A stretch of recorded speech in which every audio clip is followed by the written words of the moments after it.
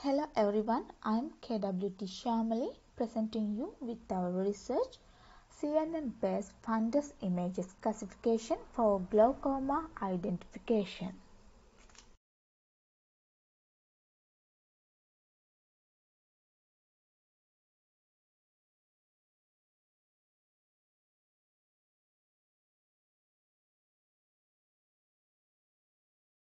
These are the contributors for this study.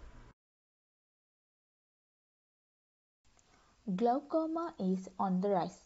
In year 2020, the World Glaucoma Association estimated that there are 78 million people have glaucoma worldwide.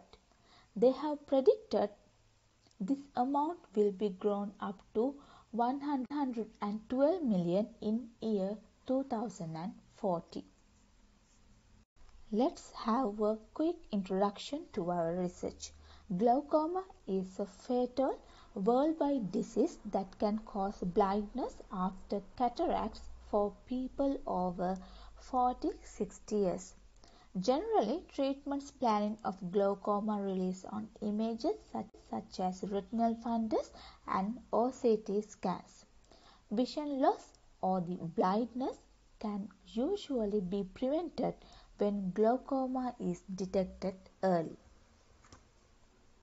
The motivation behind our research is computational models can be used as the second opinion in the glaucoma diagnosis process, then address the issue due to misdiagnosis, and finally, better classification with fundus images.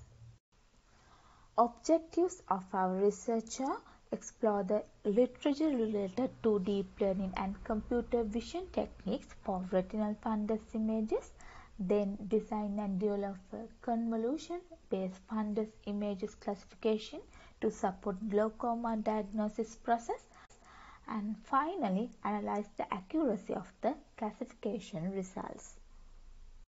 These are the existing works with the best result carried out in our research field. From these studies, Rehman and others have obtained accuracy of 97.8 for the glaucoma classification. This is the methodology of our research. The first step is explore the existing literature, techniques and dataset as well. The second step is apply the data pre-processing techniques to remove the unwanted noise as well as employ the data augmentation techniques to reduce the chance of overfitting and to improve the generalization of the algorithm. The third step is the develop the deep learning method to classify with different data, namely fundus images, into group of similar details.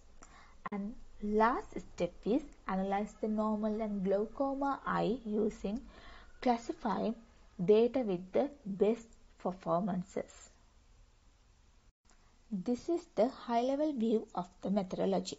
Firstly, we utilize fundus images from the two dataset and then employ the two different image preprocessing methods, namely contrast limited adaptive histogram equalization and the dilation. Histogram equalization is a commonly used for image preprocessing method for enhancing the image quality and the contrast. Furthermore, dilation is a morphological operation used to improve the image brightness and increase the size of the images. After then applied different augmentation techniques to avoid the data overfitting and address the class imbalance problem. Furthermore, fine-tune the three deep learning model called Inception V3, VGG19 and ResNet 50. Finally, after apply the five-fold cross-validation, evaluate the accuracy, F1 score, specificity, sensitivity and area under the curve. For this experiment, we have used two different datasets, namely RIM-ONE and ACRIMA dataset. RIM-ONE includes total of 942 images and ACRIMA include the 705 total images. For the implementation, we have performed three deep learning architectures. The first architecture is the Inception v3. In there, we utilize the Keras API Inception v3 model, which was pre-trained on the ImageNet dataset. As the modification, the global average pooling layer was placed after the Inception v3 model to reduce the parameters and then followed by the dense layer and lastly added the softmax layer. The second architecture is the VGG19 architecture.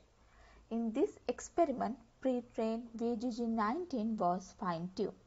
As the modification, the global average pooling layer is followed by the last three newly added layers, dropout layer with 0.5 rate, dense layer with ReLU activation function and finally softmax layer with two outputs. The last architecture is the ResNet 50 architecture. Uh, in this experiment, pre-trained ResNet 50 was fine-tuned. As the modification, the global average pooling layer is followed by the dropout layer with 0.5 rate, dense layer with ReLU activation function and finally softmax layer with two outputs. The reason behind to consider the each layers for this experiment are global average pooling layer reduce the number of parameters and the amount of computation performed in network. Dense layer is used to classify the fundus images. Uh, then dropout layer aid in the prevention of overfitting as well as the speeding up of the training process. Then the last layer which is the softmax layer act as an activation function determining the probability of each class and classifying the target images. Let's take a look at the implementation results of each CNN architecture. The results obtained for the training accuracy, validation accuracy, training loss and validation loss of each CNN architecture for each dataset are shown in here. We have trained both datasets for 150 epochs during this comparative study. It's observable that when the number of epochs increases, the model performance becomes better and leads to a high accuracy level as well as avoiding overfitting. The first two graphs show the results of Inception v3 on RIM-ONE and ACRIMA datasets. RIM-ONE dataset yielded accuracy of 96.56 and ACRIMA dataset yielded accuracy of 98.52. In those graphs, we can't see any clear signs of overfitting since our model performs well on training data and testing data. In second architecture, RIM-ONE dataset obtained accuracy of 94.95 and ACRIMA dataset obtained accuracy of 92.64 VGG19 architecture. In this diagram also, VGG19 model performs well on tra training data as well as on testing data. Therefore, we can't see any overfitting issue in those graphs. The last architecture which is ResNet 50 attained accuracy of 95.49 on RIM-ONE and 95.58 on ACRIMA datasets. Those diagrams performs good results and works well on training data as well as testing data too tightly. Now let's move on to the summary of results. According to the performance of each CNN architecture, Inception v3 on RIM-ONE dataset achieves 96.56 accuracy and the least test loss. Further, Inception v3 on the ACRIMA datasets obtain 98.52 accuracy with the less testing loss. We have compared the results of proposed study with the existing related studies. Among those considered latest related studies on glaucoma classification using RIM-ONE and ACRIMA datasets, many studies have, have considered the VGG and ResNet architectures.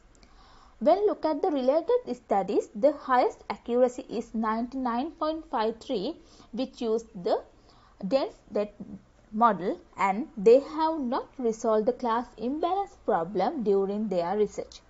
However, we have addressed the class imbalance issue and applied the different augmentation techniques.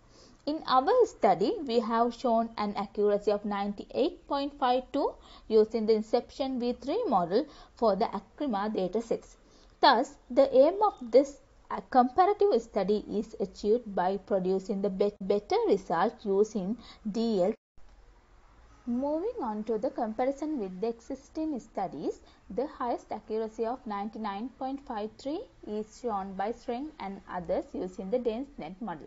In there, they have suggested a glaucoma screening method using two stages. In the first stage, optic disc segmentation has been performed using DeepLab V3 Plus architecture. In the second stage, a pre-trained deep neural network has been employed for image classification. The fundus image-based automatic glaucoma assessment method was proposed by Dias Pinto and others and shown considerable result on ACRIMA and RIM-ONE datasets using different deep learning models. Among those, the models VGG19 has shown accuracy of 19.69. Furthermore, Singh and others implemented glaucoma diagnosis approach using Inception V3 model and obtained 92.51 accuracy on RIM-ONE dataset. Then, Rehman and others have proposed deep CNN architectures based two-stage glaucoma classification method. They have employed four different CNN architectures and among them Inception ResNet V2 performed best accuracy of 99% on ACRIMA dataset. In proposed method, Inception V3 model on ACRIMA dataset obtained 98.52 accuracy.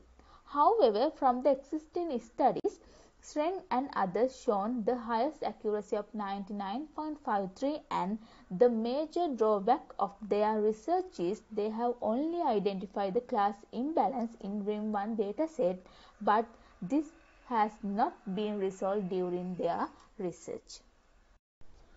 Looking at the future works of this study, as the first point, the proposed method can be improved as the ensemble method since ensemble method can better prediction and achieve better performance than any single contributive model, then it reduces the spread in the average skill of a predictive model and improve the average prediction performances.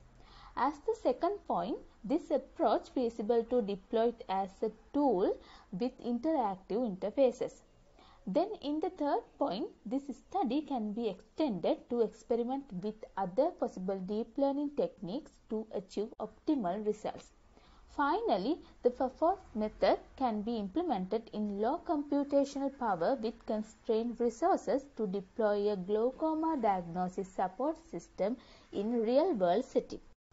As the conclusion, this paper presented deep learning approaches to classify fundus images and we have proposed three fine-tuned architectures based on the Inception V3, VGG19 and ResNet 50 to classify glaucoma and normal images.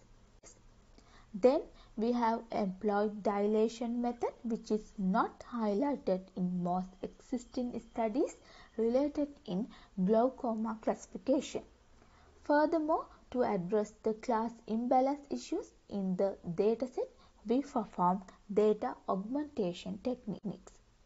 After applying the five-fold cross-validation, the Inception V3 showed the best results that is 98.52 accuracy among the other CNN architectures.